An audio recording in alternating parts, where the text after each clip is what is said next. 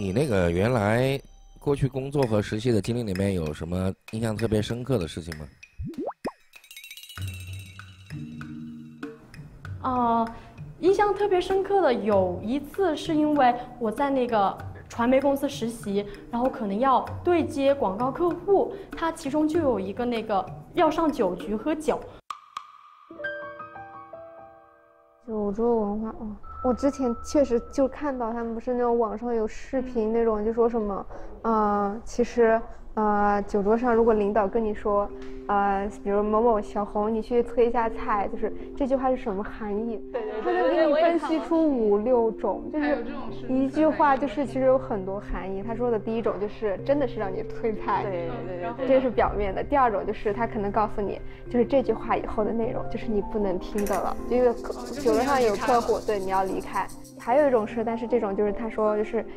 呃，他说就是，如果你说这句话，如果饭桌上还有留着女孩的话，就是你要格外小心一下。就是如果他就是把你要支开，就是对人家女孩子有什么想法的话，其实你要有提防心，就是还要就额外关注一下。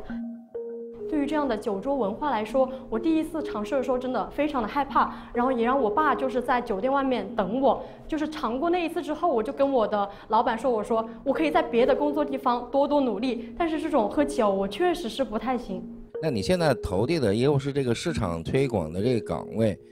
那你怎么看待这个职场女性要求陪客户喝酒这个事儿？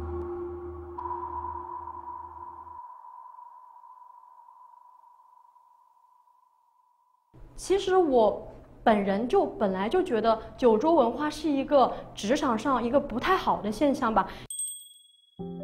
因为这种利用酒精上头的这个效应来去谈合作，这样并不能体现一个人的实力，或者是这样子的一个合同又有什么样长久的效用呢？我觉得应该要用自己的实力说话吧。我觉得不需要在酒桌上面去谈合作，要用自己的真才实干来吸引到自己的客户群体。